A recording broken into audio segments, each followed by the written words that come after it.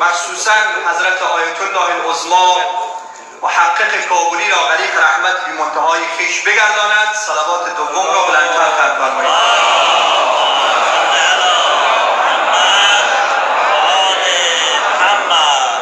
خب سخنران اصلی این مجلس نیستم ولی افتخار دارم که اولین پیام تسلیت و اولین سخنرانی را در مسجد مقدس المهدی عجل الله تعالی فرجه شریف در اونجا ما انجام دادیم و حدود سه روز بعد از رحلت این بزرگوار مجالسی بعد از نماز ظهر و عصر برای مقام و شخصیت علما بزرگان و نقش اجتهاد و علما در تشیع در دین مقدس اسلام و مذهب تشیع ما برنامه داشتیم. واقعا ما باید قدر علمای بزرگ خود را بدانیم و این یک دستور اسلامی است دستور قرآنی سفارش انبیا و تأکید معصومین علیهم السلام هست.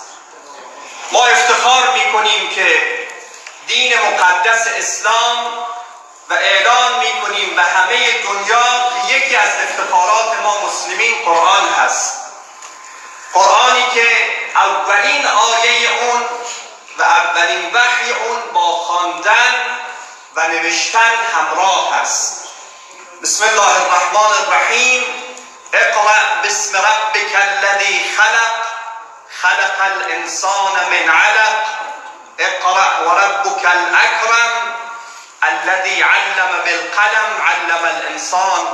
ما لم يعلم ما افتخار می‌کنیم که پیامبرمان حضرت محمد مصطفی.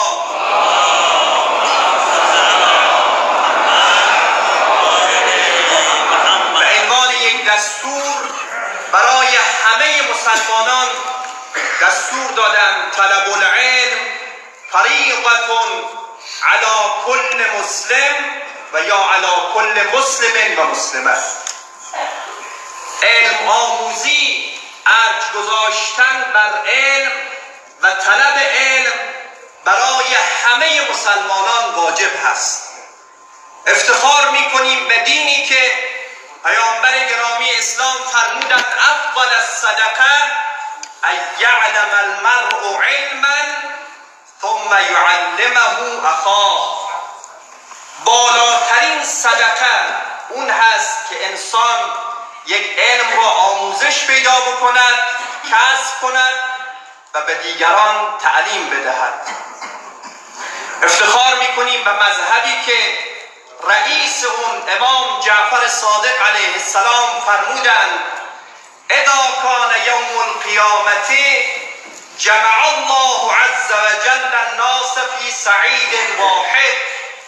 روز قیامت وقتی که فرا می‌رسد رئیس مذهب ما امام صادق علیه السلام میفرماید همه انسانها را در یک بیابانی یک جای خاصی جمع میفرماید. و وضعت الموازین فیوزن دماء الشهداء مع مداد العلماء. اون وزنه ها اون موازین اون مقیاس ها را قرار می‌دهند و خون شهدا را با مداد علما میسنجند. فیرجح مداد العلماء على دماء الشهدا.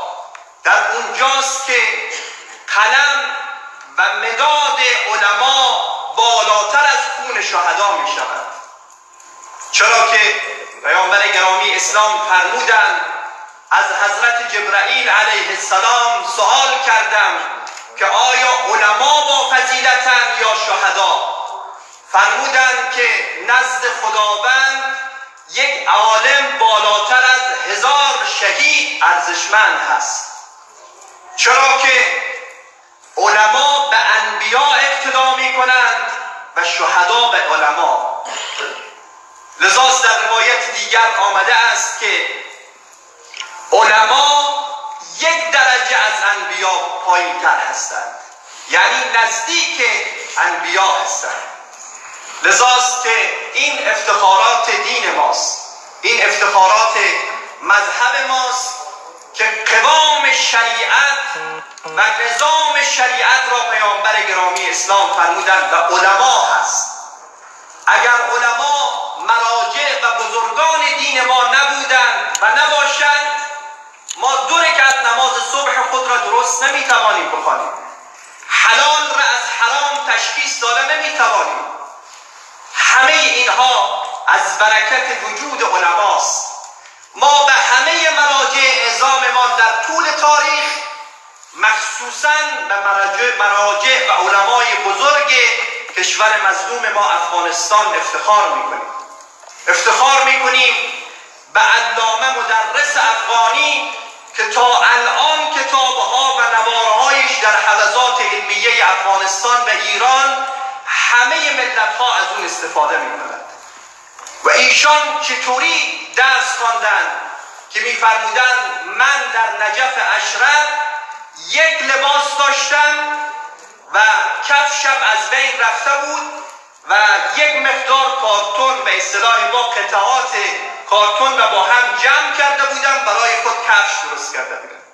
این طوری اینها علامه شدند افتخار می‌کنیم به حضرت آیت الله العظما حجت کابولی که ایشان فرمودند در خاطراتشان بیان اون قدر ما در فقر در مشهد مقدس درس میخواندیم که از ضعف غذایی یک دوره سه شبانه روز نتوانستم نمازم را ایستاده بخوانم.